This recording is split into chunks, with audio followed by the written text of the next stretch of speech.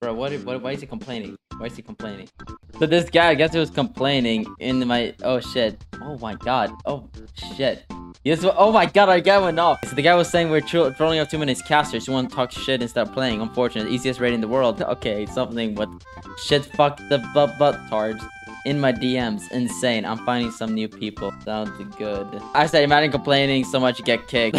he said, ah, oops, I left. LOL. I didn't get kicked. You have Garbonza garbage gear, and so does the other hunter. Y'all trying to get carried on your alts. I said, ha, you mad? Bro, this guy's fucking pissed. Holy shit, this guy's mad. That's, that's crazy, bro. This guy's fucking pissed.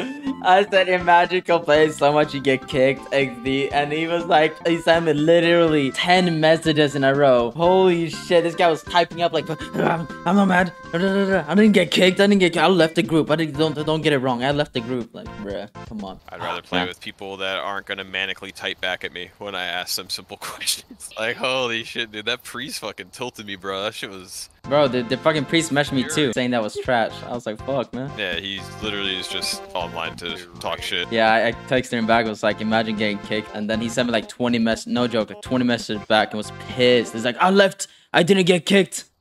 It's like fucking pissed. Oh, dude, you actually drove the nail right. That's um, incredible. Yeah, that was that was beautiful. That's incredible. So good.